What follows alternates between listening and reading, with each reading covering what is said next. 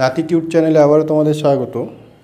আমরা ভোকলেটের জন্য যে টপ টু হান্ড্রেড ম্যাথের এমসিকিউ এর পিডিএফ ফাইল প্রোভাইড করেছি, তার লিঙ্ক অবশ্যই ডেসক্রিপশানে আছে। তো সেক্ষেত্রে অনেক, সেই পিডিএফ ফাইলে অনেক অঙ্ক কোনো ভিডিওতে করা আছে, আর পিডিএফ ফাইলে শুধুমাত্র অ্যান্সার টিক দেওয়া আছে, তো হাইলাইট করা আছে অ্যান্সার। তো যেগুলো অ্যান্সার এখনও পর্যন্ত করা হয়নি, তো তারই কিছু অংশ আজকের ভিডিওতে করব। তো দেখো আজকে একটা প্রশ্ন যেটা আমি করব সেটা হচ্ছে আটান্ন নম্বর প্রশ্ন। অর্থাৎ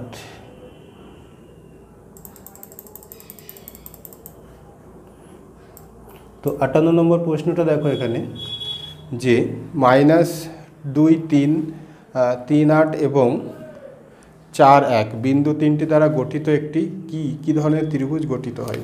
তো ধরনের প্রশ্ন একটা আসে ভুকলেটে এই জন্য এটাকে আরও সিলেক্ট করা হয়েছে। তো এটা শিখে রাখো। মানে অঙ্ক যে সেম নাম্বার দিয়ে অঙ্ক আসবে এমন তো হতে পারে না। তো এই জন্য অঙ্ক নিয়ম শিখতে হবে, নাহলে কিন্তু অঙ্ক তোমার পিডিএফ ফাইল নেওয়ার কোনো ফায়দা হবে না। তো এই জন্য অঙ্কটা ভালোভাবে শিখে রাখো। যে কোনো একটা ত্রিভুজ, কোনো একটা ত্রিভুজ, জানি না কী ধরনের ত্রিভুজ, কিন্তু জানতে পারব অবশ্যই কিছুক্ষণের মধ্যে। যেমন ধরো এখানে প্রথম স্থানাঙ্ক হচ্ছে মাইনাস দুই তিন আর একটা বিন্দু স্থানাঙ্ক হচ্ছে কি? তিন আট, এবং আরেকটা বিন্দু স্থানাঙ্ক হচ্ছে চার এক। তো এই বিন্দুটি যে ত্রিভুজটা গঠিত হচ্ছে সেটা কী ধরনের ত্রিভুজ? ত্রিভুজ একটা নাম দিই, তাহলে একটু সুবিধা হবে। এবিসি নাম দিলাম। এর প্রত্যেকটা বাহুর মানটা বার করতে হবে এ বি এ বি বাহুর মান বার করতে গেলে ধরো এ বি তো কিচ্ছু না, জাস্ট এটাকে মাইনাস টু এক্স এক্সের মান মাইনাস এটা এর হোল স্কোয়ার অর্থাৎ x one minus x two whole square plus এটা, অর্থাৎ তিন মাইনাস আটের হোল স্কোয়ার অর্থাৎ এখানে এক্সের মান মাইনাস এখানে এক্সের মান, এখানে ওয়াইয়ের মান মাইনাস এখানে তাহলে এবির দূরত্ব পেয়ে গেলাম। তো এখান থেকে দেখো এটা বারটা ই করে নাও। যে মাইনাস দুই মাইনাস তিন মাইনাস পাঁচ পাঁচের স্কোয়ার মানে পঁচিশ। আর এখানেও মাইনাস পাঁচ, পঁচিশ। তো রুট ওভার পঞ্চাশ এখানে আসছে। হিসাব করে দেখে নাও। তারপর ধরো যদি বিসি বাহুর মানটা বার করি, একই হবে। বিসি তাহলে বিতে এক্সের মান হচ্ছে তিন সি এর পজিশন এক্সের মান হচ্ছে চার, তিন মাইনাস চারে হোল স্কোয়ার প্লাস এখানে আছে আট মাইনাস এক এর হোল স্কোয়ার এটা কত আসছে? দেখো, তিন থেকে চার বাদ দিলে অবশ্যই মাইনাস এক মাইনাস একের স্কোয়ার মানে একই হবে। আবার আট থেকে এক বলে সাত সাত আর সাতের স্কোয়ার মানে উনপঞ্চাশ তাহলে উনপঞ্চাশ প্লাস এক দেখো রুট ওভার পঞ্চাশ আসবে। তারপর আরেকটা যেটা আসছে কি? জাস্ট লাস্ট যেটা আমি বার করতে পারি এসি এসি বাহু বার করতে গেলে এখানে এক্সের মান মাইনাস দুই, এখানে এক্সের মান চার। তাহলে মাইনাস দুই মাইনাস চার। সূত্রে কিন্তু মিডিলে মাইনাস পরে একটা। আর এখানে তিন মাইনাস এক এর স্কোয়ার দেখুন মাইনাস দুই আর মাইনাস চার হচ্ছে মাইনাস ছয়, তার স্কোয়ার মানে ছত্রিশ। তিন থেকে এক বাদে দুই, অর্থাৎ দুইয়ের স্কোয়ার চার, চল্লিশ। তাহলে রুট ওভার চল্লিশ। তাহলে এখানে তোমরা দেখে স্পষ্টভাবে বুঝতে পারছ যে এ বি এর মান আসলো রুট ওভার পঞ্চাশ বিসির মানও এসছে রুট ওভার পঞ্চাশ, এবং এসির মান এসছে রুট ওভার চল্লিশ। অর্থাৎ দুটো বাহুর মান এখানে সমান, একটা বাহু অসমান। তাহলে এটা অবশ্যই সমদ্বিবাহু ত্রিভুজ। পর যে এটা ত্রিভুজের ক্ষেত্রফল নির্ণয় করতে বলেছে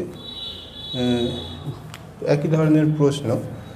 ক্ষেত্রফলের সূত্রটা জাস্ট আলাদা। তো এখন একটা ত্রিভুজ যাদের শীর্ষগুলো স্থানাঙ্ক দিয়ে দিয়েছে যে মাইনাস ফোর ওয়ান তারপর আছে ওয়ান টু এবং অবশেষ যেটা হচ্ছে চার মাইনাস তিন। যে কোনো যে কোনো একটাকে প্রথম, দ্বিতীয়ত আমি এটাকেও এটা ধরতে পারতাম, অসুবিধা নেই। তো এর ক্ষেত্রফল বার করতে গেলে আমি আগেও সম্ভবত একটা আলোচনা করেছি, যে ভিডিওতে আলোচনা করেছি। তো দেখো, প্রথমে একটা হাফ দেবে। ধরো মড এটা একটা মড বোঝায় মডের ব্যাপারটা আমি শেষে বলছি। তো প্রথমে ধরো এখানে এক্সের মান নিলাম। সূত্রটা লিখে দেওয়া হলো x one into y two minus y three plus x two sorry x two into দুইয়ের পর তিন হয়, এই জন্য y three minus y one plus x three into তিনের পরে এক। অর্থাৎ y one minus y two ওয়ার্ডটা ক্লোজ করে দিলাম। এবার এখানে ওয়ান টু থ্রি আমি যাকে ইচ্ছা মনে করতে পারি। এখানে এক্স ওয়ান এটা ওয়াই ওয়ান এটা ধরো এক্স টু ওয়াই টু এটা ধরো এক্স থ্রি ওয়াই থ্রি এবার মানগুলো বসিয়ে দিলেই কিন্তু উত্তর তোমরা পেয়ে যাবে। তাহলে হাফ মড হ্যাঁ এটা মনে রাখার একটা কৌশল আছে যে একের পরে দুই আসবে, দুইয়ের পরে তিন আর তিনের পরে এক। দেখো, এক্স ওয়ান, দুই, এক, দুই, তিন, দুইয়ের পরে তিন, তিনের পরে এক। তিনের পরে এক মানে এরকম, এই নিয়মে এটা মনে রাখতে পারবে। তারপর, এখানে এক্স ওয়ান বলতে কি আছে? এক্স ওয়ান বলতে মাইনাস চার আছে। ওয়াই টু ওয়াই টু দেখো এখানে, ওয়াই টু বলতে এখানে দুই, মাইনাস ওয়াই থ্রি বলতে এখানে minus minus three, double minus চলে আসছে। এরকম হবে, plus x two. X two বলতে এখানে এটা হচ্ছে এক্স টু আমাদের এক্স টু ধরেছি ওয়ানকে ওয়াই থ্রি মানে এটা, অর্থাৎ মাইনাস থ্রি আর y one minus one y ওয়ানের মানে ওয়ান এখানে। প্লাস এক গরম লাগছে। তো যাই হোক ফ্যানটা চালাতে হবে।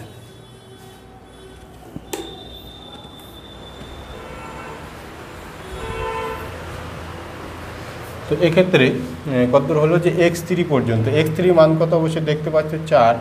ইন্টু ওয়াই ওয়ান ওয়াই ওয়ানের মান হচ্ছে অবশ্যই ওয়ান আর ওয়াই টু হচ্ছে এখানে টু সব জিনিস দেখো দুবার করে ব্যবহার হচ্ছে। এক্স ওয়ান দুবার ওয়াই টু দুবার, যাই হোক। এটা হিসাব করে দাম হাফ ইন্টু মাইনাস চার, এখানে তিন আর দুই যোগ করলে পাঁচ পাঁচ আর মাইনাস মাইনাস কুড়ি। একবার হিসাব করি এখানে মাইনাস তিন আর মাইনাস এক মাইনাস চার। এখানে এক থেকে দুই বাদ দিলে মাইনাস এক এটা মাইনাস চার। তাহলে সিম্পল ব্যাপার হাফ ইন্টু মাইনাস আঠাশ।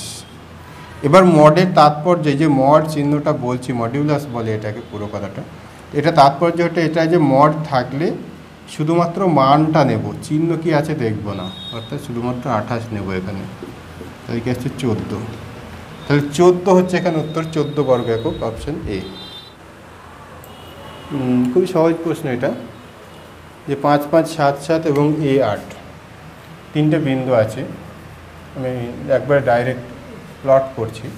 দেখো, পাঁচ পাঁচ মানে কি? এখান থেকে পাঁচ ঘর, এখান থেকে পাঁচ ঘর। তাহলে পাঁচ পাঁচ বিন্দু এখানে থাকবে। তোমরা ক্লাস নাইনে যে গ্রাফ করছে, সেই কনসেপ্ট থেকে করতে পারবে। তারপর আছে সাত সাত, অর্থাৎ সাত ঘর মানে থেকে দু ঘর বেশি। এখানে সাত সাত বিন্দু থাকবে।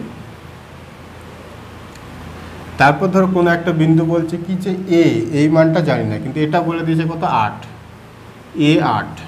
এর মানটা কত হতে হবে? যেখানে শর্তটা কি?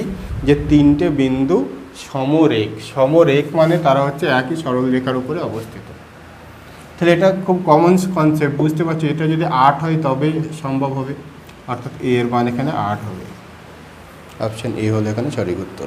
তাহলে পরের প্রশ্ন দেখো যে এক্স অক্ষের সমান্তরাল যে রেখাটি এক্স অক্ষের তিন একক নিচে তার সমীকরণ কী?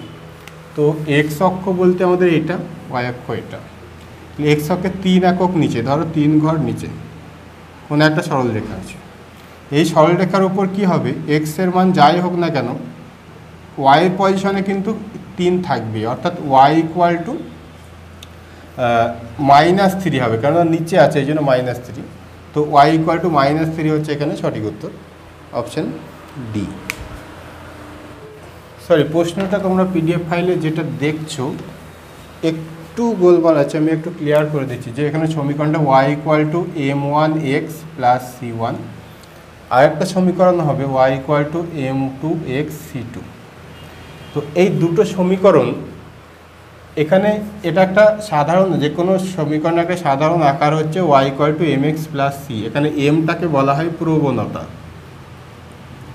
এই প্রবণতা কি? দুটো সরলরেখা যদি পরস্পর লম্ব হয় যে একটা সরলরেখা এ একটা সরলরেখা এরা যদি পরস্পর লম্ব হয়, তাহলে এদের প্রবণতাগুলোর গুণফল কি হয়? সবসময় মাইনাস ওয়ান হয়।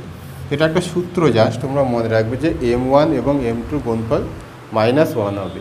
আর এই প্রসঙ্গে বলে রাখি, আর দুটো সরলরেখা যদি সমান্তরাল হয়, ধর এই সরলরেখা যার প্রবণতা এম ওয়ান এই সরলরেখা প্রবণতা এম টু এরা যদি পরস্পর সমান্তরাল হয়, তাদের প্রবণতা মান সমান হয়। দুজনের ক্ষেত্রে মানটা সমান হয়।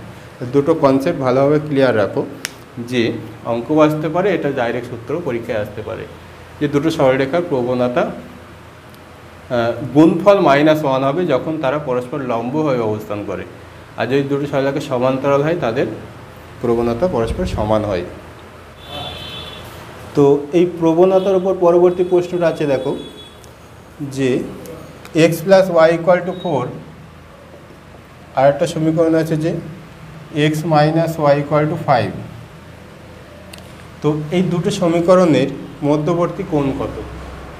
তো আমি যেটা বলে রাখি যে এই সমীকরণটাকে তুমি এই আকারে প্রকাশ করবে। এক y equal to m x plus c আকারে প্রকাশ করে নেবে। এম এর পরিচ্ছনে কী আসছে সেটা দেখো। সেটা যদি করি আমি কী আসছে দেখো? এখানে দেখো ওয়াই ইকুয়াল টু এক্সটা যদি এদিক থেকে এদিকে পাঠায় মাইনাস এক্স হবে প্লাস ফোর তো এদিকেই আছে। অর্থাৎ এখানে y equal to minus one into x plus four এর সাথে এটা তুলনা করো এই সমীকরণটা। দেখো এম এর পজিশনে কি আছে? Minus y equal to m x plus c y equal to minus one x plus four এখানে এম এম এর মান হচ্ছে কত? মাইনাস ওয়ান এটাকে এম ওয়ান ধরলাম, যেহেতু দুটো সরল রেখা আছে। একইভাবে এটাকে যদি এইভাবে প্রকাশ করতে চাই, তাহলে minus y equal to minus x plus five বা মাইনাস দিয়ে গুণ করে দাও, তাহলে y equal to x minus five সেক্ষেত্রে একটা ওয়ান গুণ আছে। তাহলে এর ক্ষেত্রেও যদি আমি এটার সাথে তুলনা করি, তাহলে এম এর পজিশনে কি আছে? ওয়ান আছে, অর্থাৎ এম টু এর মান হচ্ছে ওয়ান তাহলে দেখো এখানে এম ওয়ান এবং এম টু এটাকে গুণ করলে কি আসছে? মাইনাস ওয়ান ইন্টু ওয়ান তাহলে অবশ্যই ওয়ান মাইনাস ওয়ান আসছে। তো এখনই যেটা বলা হলো যে দুটো সরলরেখার প্রবণতার গুণফল যদি মাইনাস ওয়ান হয়, তারা পরস্পর লম্ব হয়, অর্থাৎ তাদের মধ্যবর্তী কোণ নাইনটি ডিগ্রি হয়। তো এখানে নাইনটি ডিগ্রি অপশান ডি হচ্ছে এখানে সঠিক উত্তর। আজকের ভিডিওতে এই পর্যন্তই। তো তোমরা যারা এই পিডিএফ ফাইল এখনও সংগ্রহ করনি, তারা অবশ্যই ডেসক্রিপশনে দেওয়া লিঙ্ক থেকে সেটাকে ডাউনলোড করে নাও। আর প্রিপারেশন নিতে থাকো ভোগেটের সময় এগিয়ে এসছে। আর বেশি সময় নেই, এই জন্যই আরও এটাকে, যে টপ টু হান্ড্রেড প্রশ্ন এটাকে সিলেক্ট করে। আশা করি এখান থেকে অনেক কিছু কমন পেয়ে যাবে ডাইরেক্ট বা ইনডাইরেক্ট কমন তোমরা পেয়ে যাবে। আর চ্যানেলে যারা নতুন এসছে, অবশ্যই সাবস্ক্রাইব করে নোটিফিকেশন অন করে রাখো।